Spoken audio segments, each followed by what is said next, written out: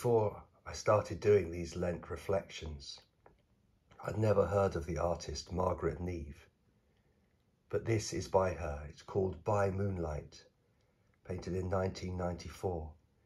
And see how soft it is, not just the colours, but the way it's painted. The girl in her dance. The very moonlit air itself wraps her and the whole picture in an almost tangible embrace. We're reflecting on joy this week, and Sister Wendy Beckett writes Joy is felt profoundly as right, as what ought to be.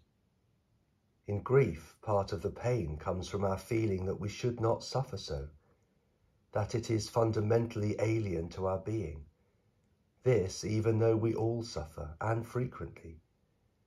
Yet we reject suffering as a basic human truth, while greeting joy as an integral part of our very substance.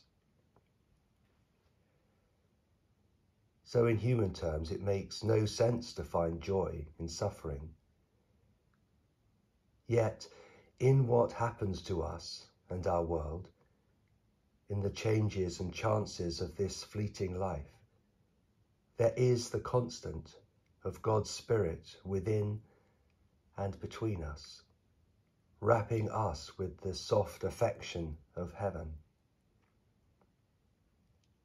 Leonard Cohen said that despite the sadness in his long life, joy kept breaking through.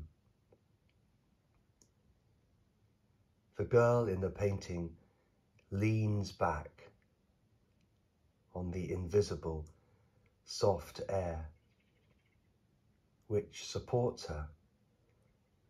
She is not concerned, but is lost in its embrace.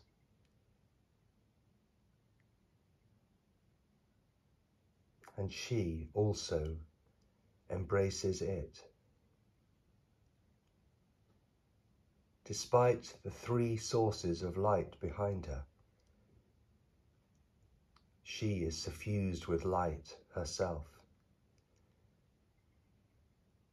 And for me, that light comes from within.